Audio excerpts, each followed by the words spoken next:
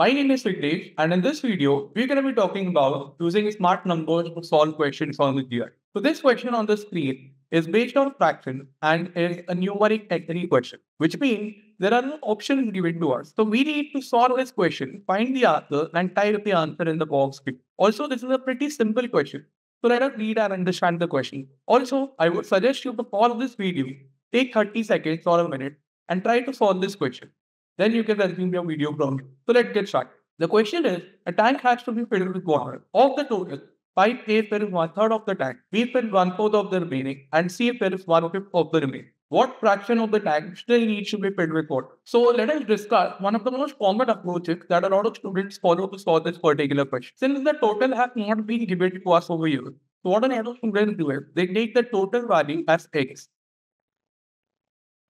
so let's solve this further. What happens if we total if we take the total value as x? Now, 5a fill one third of the time. So a we can say fill one third of x. Correct? Okay. B fills one fourth of the remaining. Now, a point to be noted here is that this is not one fourth of the total. That is not one fourth of x, but this is one fourth of the remaining. So we firstly need to find out what fraction still needs to be filled in the what. So that will be equal to x minus one third of x, which is equal to two third of x. Because one third of x was already filled by pipe A, right? So B fills one fourth of two third of x. So one fourth of two third of x, this would be equal to 2 upon 12 x. In its simplest form, this can be written as one sixth of x, right? Oh. Now C fills one fifth of the remaining. Again, this is not one fifth of the total. This is one fifth of the remaining. So again, on finding the remaining part, this will be equal to two third of x minus one sixth of x. Taking 6 as the LCM, we get 4x minus x over 6, which is 3x over.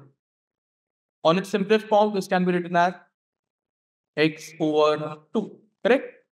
Okay. So half of the tank has already been filled now. And C fill one fifth of half of x. So C fills one fifth of x over root, which is equal to x over 10. So the question is, what fraction of the tank still needs to be filled in with water? On finding the total or on finding the remaining part that still needs to be filled in with water, this could be equal to x over 2 minus x over 10.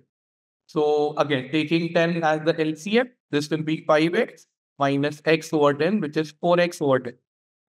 Simplest form can be written as 2x over 5. So this part is still left to be filled in with what? So the fraction is 2x over 5 divided by x since we are taking the total value as x, right? Okay. So the answer to this question is 2. Now I'm not saying that this approach is wrong. The answer to this question is 2 over 5. But is there any easier approach than this?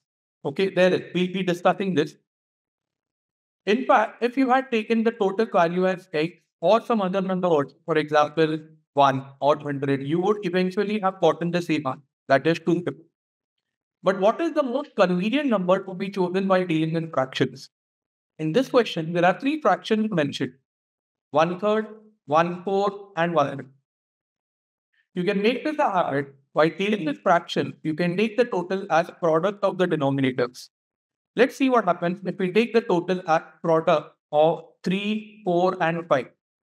So 3 times 4 times 5 is 16. Now, 16 might seem to be an odd number or a weird number at first because who takes the total as right?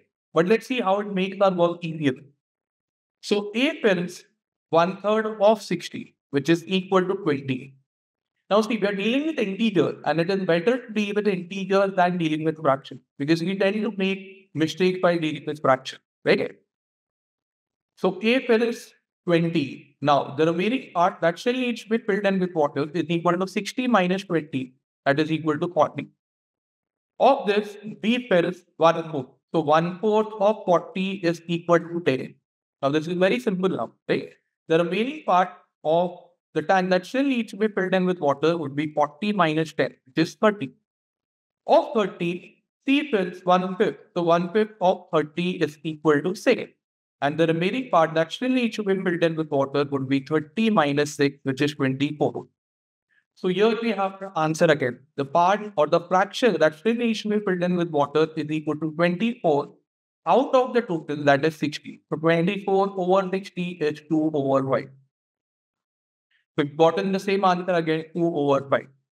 So you can make it a habit while dealing with in, while dealing with fractions, take the total as product of the denominator. It makes our work very easy. Right? So that was it for this particular video from my side. If you have any question related to this question or any other question of the GRE exam, please let me know in the comment section below and I'll be happy to help you out. So I'll see you soon with another video. You.